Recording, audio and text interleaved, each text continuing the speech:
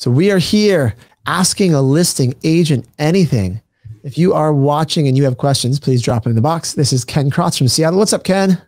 Hey, uh, all kinds of stuff is up. Prices are up, income's up, stocks up. Isn't it all great? it is all great, man. We just came through the worst year ever. But did, was it really the worst year that ever for you in terms of listings? Or?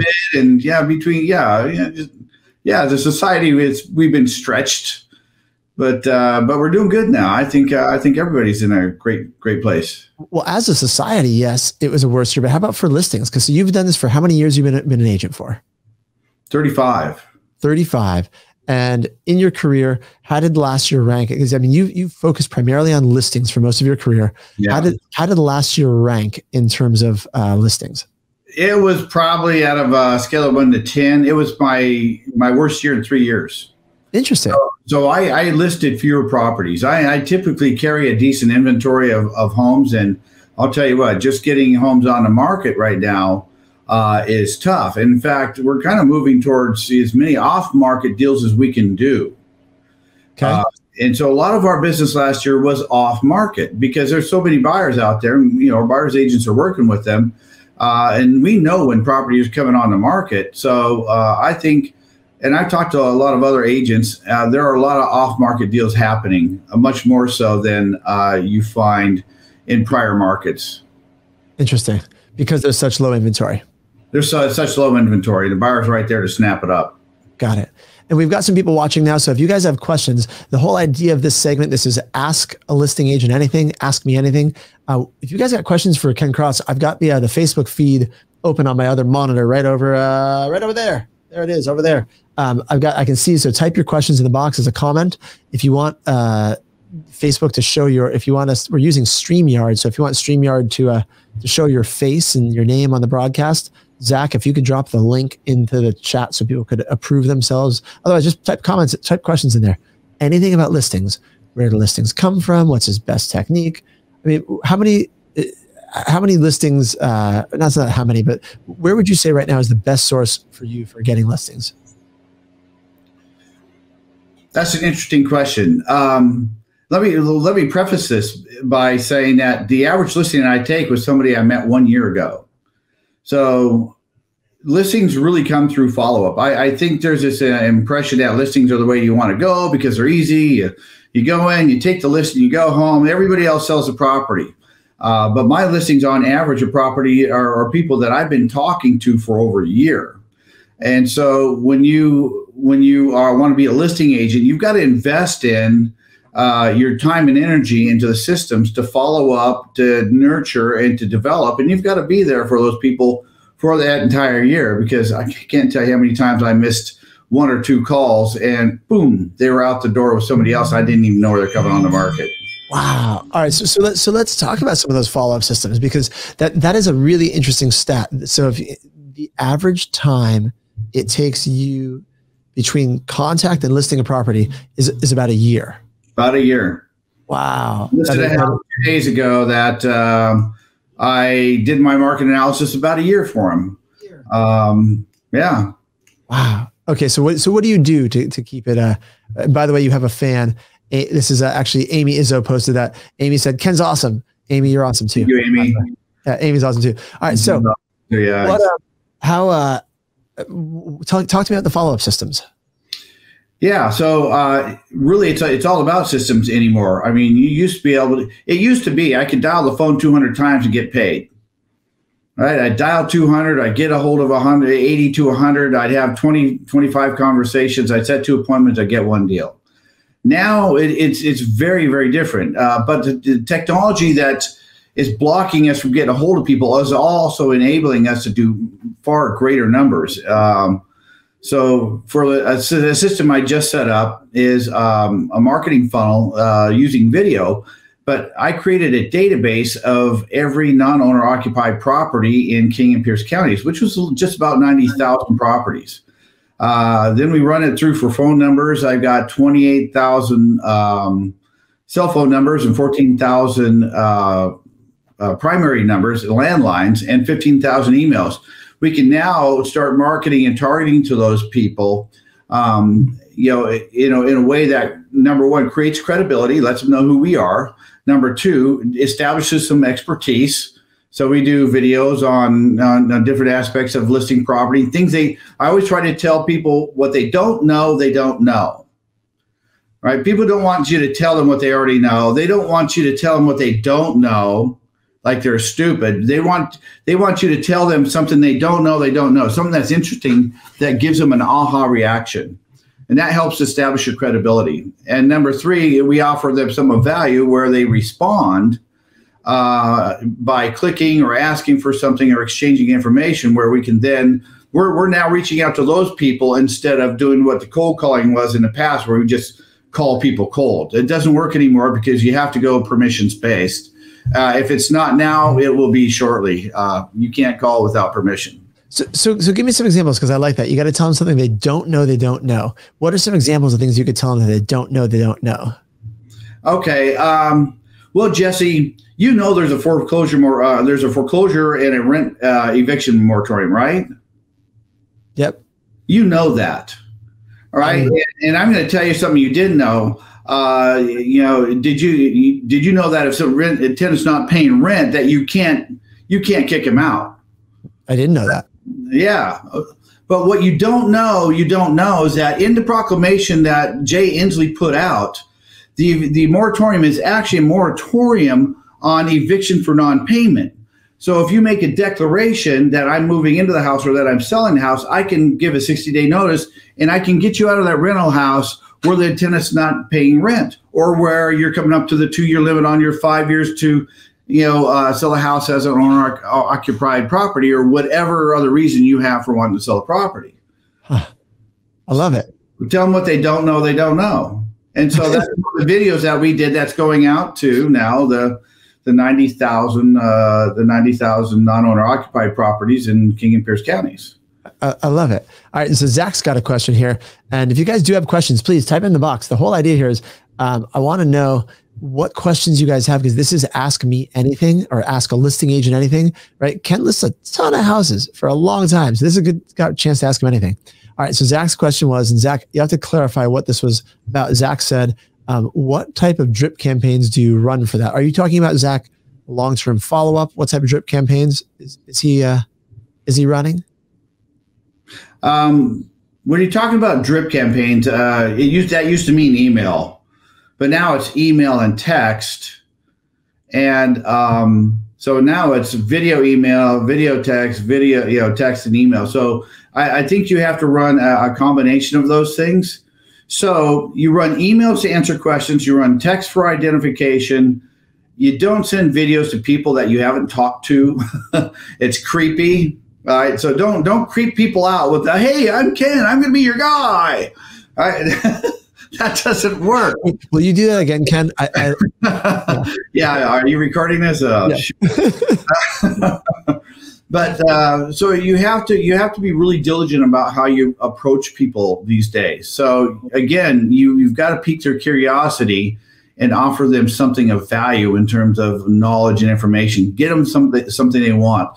The reason I'm doing the database marketing is I've got a database now of of landlords, and landlords all have a, a, a common set of unique interests and concerns. And so we're addressing those concerns. Now, if you were marketing just out to the general population on Facebook, uh, or any any multimedia, uh, Facebook or Google or LinkedIn or wherever, um, you you'd want to start. You want to uh, your target audience to identify themselves.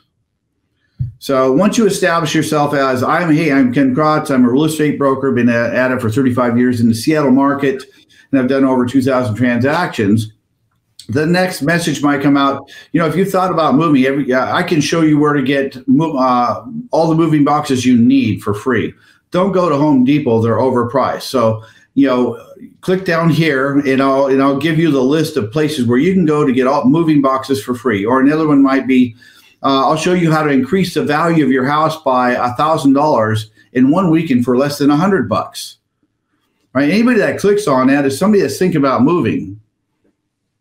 So you don't want to say, I want to help you move. You want to you want to address the concerns and that they have because They want to know how to turn off their utilities and find moving boxes and all right. that. In that one year time period. I love it. I love it. All right. What, yeah.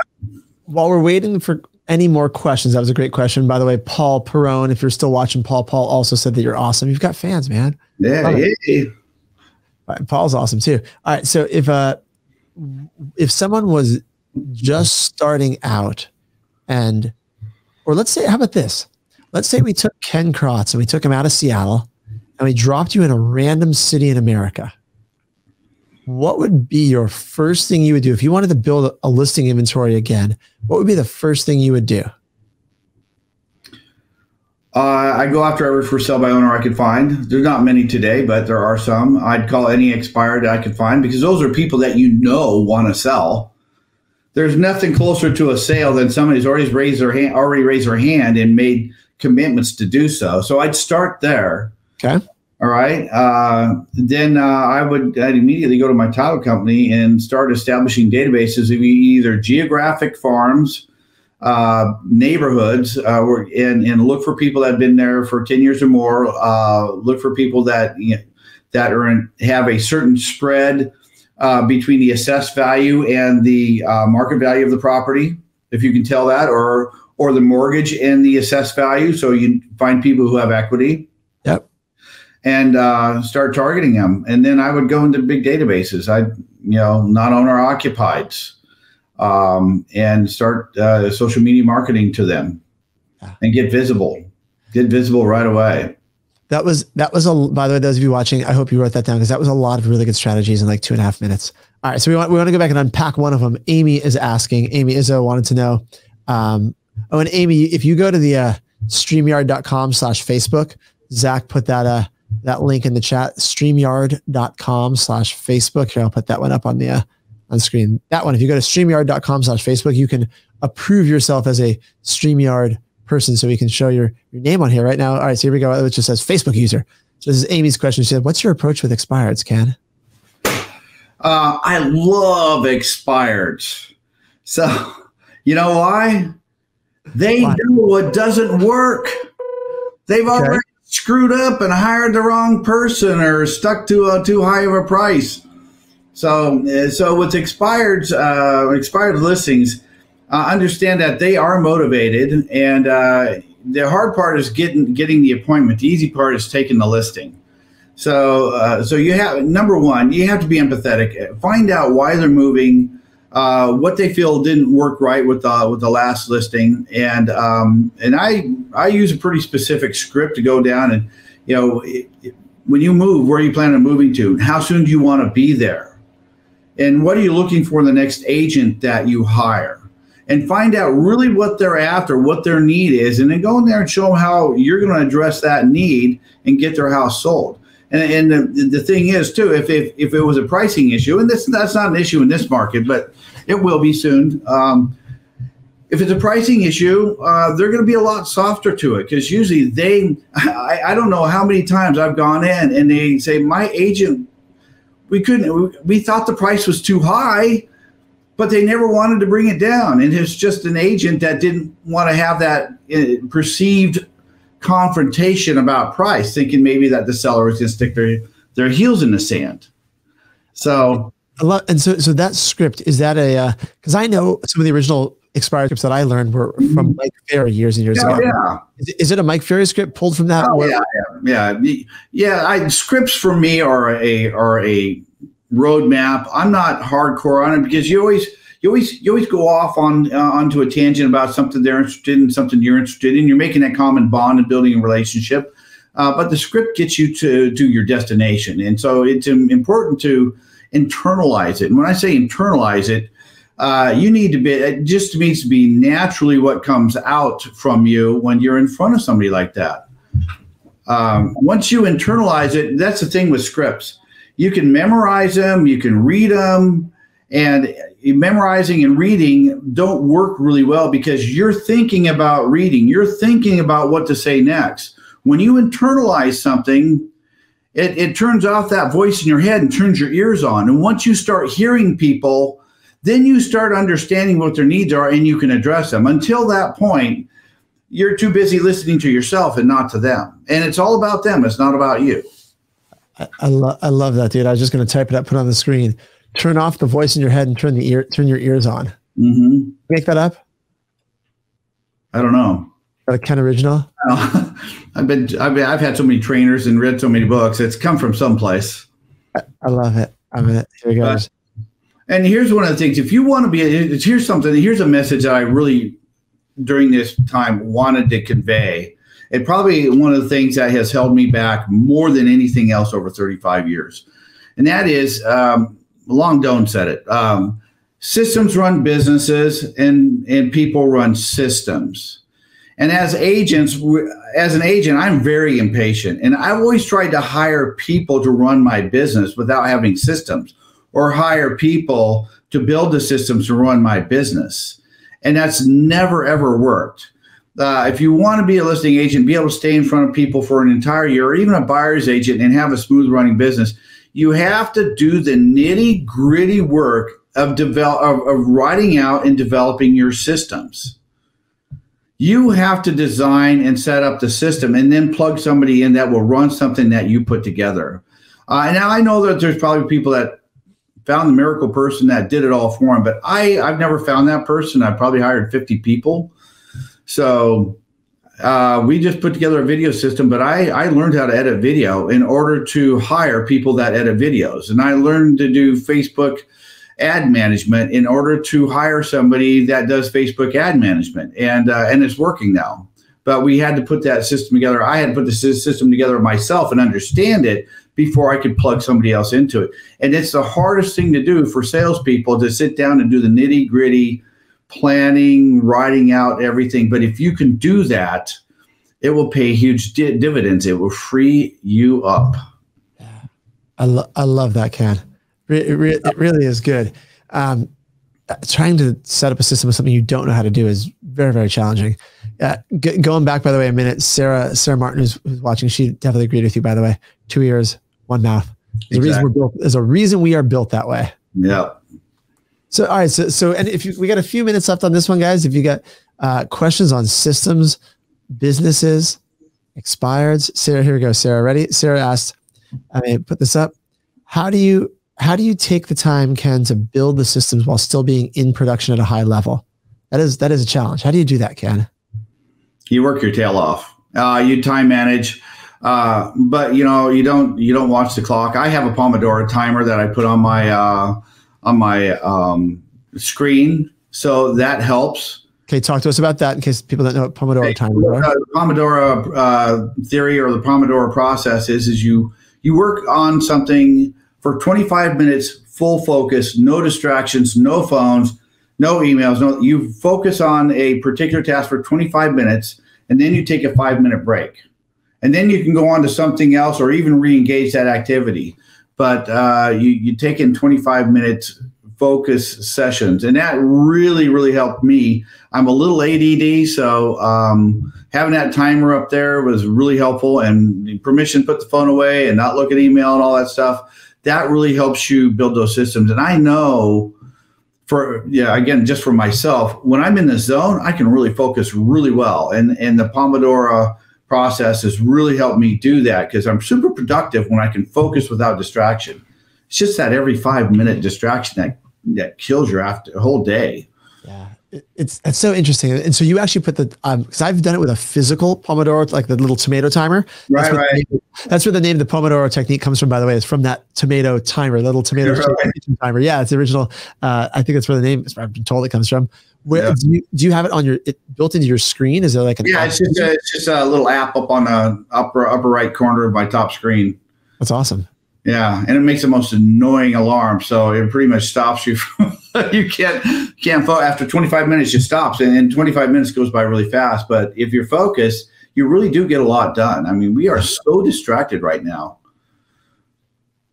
Yeah we, we really are. I think we're actually talking about that uh, next monday. We were talking about today next monday on agent power huddle. So if you want to jump on with us we're talking about uh, strategies to stay focused. So we will absolutely uh, cover pomodoro technique among other things because yeah, that helps this is a highly distracted life we live highly distracted yeah, one of, our, one of, our, big challenges right now is we have uh, so many leads coming in from so many different systems. Uh, and Facebook is so complicated. Every you know, just getting it all into one system that works that alerts you properly without over alerting you to things you don't need. So managing your alerts is, is really a, an important thing towards your to maintaining your focus as well. Ooh. All right. So, so we guys, we have time, by the way, probably about one more question. If you got one more you want to ask. So tell, while we're waiting for another question, Ken, tell me about that. When you say managing your alerts, because I don't know if people, a lot of people take the time to do that. What do you mean by managing your alerts? Well, um, you know, I have a VRBO business. I have the, the, the real estate business, and uh, we run ads, and those those those alerts come in through Messenger, and I get three or four different messengers uh, um, channels coming in, and then uh, you also get a bunch of alerts like somebody's commented on something you're following. You got to get rid of those. Uh, and then you have your text, and you have I have two emails, and I have a phone, and we have you know people calling in, um, and Lord knows how many other channels we have coming in. Um, you have to manage that, and if you can get it into one system, I'm still looking for that that uh, perfect app that will manage all of my alerts into one location.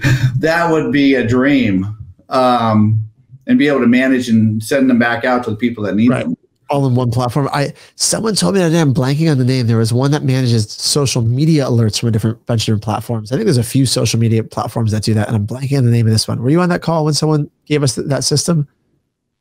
I know. I don't. I don't know. That was Monday. Was that Monday? I don't know. I'll, I'll look it up. I'll, I'll get you the name of it, but it's only from social media platforms, so it's it's not going to do from ever from phone calls and inbound. That's right. Social media is a social media is a good one to get your arms around.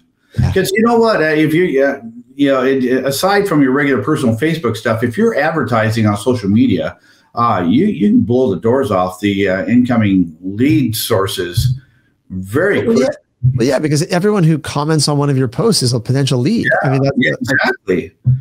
Yeah, anybody who likes a video, anybody who comments on it, anybody who uh, you know asks for something in particular, and you know, there's three different types of leads coming in from one source, and I have them come in from the Sasquatch Lodge and from Ken Crotts and Company, from from you know, Crushing Northwest Real Estate. You know, all those come into one place, and uh, Facebook is not very well organized to manage that. Yeah, yeah. Well, any any last words? Anything? This has been fun. Those of you guys watching, I hope you enjoyed this. And any last words before we wrap this up? Ken, anything you want to leave people with? Yeah, it's still hard work. Nothing's changed about that. So the people that so the people that make it have grit and uh, and you have some discipline. So you know what? None of these uh, nothing you but no shiny object you see is going to create a workless successful career. I've tried them all. I know. I feel that every one of them, you still have to get up every morning and work. And so you know, revel in work. Work is the, the thing that will free your life. It builds relationships, builds wealth, it creates a, a spiritual life. Work at everything and revel in it. I love it. I love it, Ken. Well, guys, if you have questions for Ken Crotts in Seattle or referrals to send to him or anything, um, he is tagged in this post. So uh, send him a message. He will happily happy to chat with anybody. Right? Can they just direct message you in one of your many channels? All right, cool. All right, enjoy your day, guys. Bye, everybody. See you, see you later. Produced by the Agent Collective Media Network.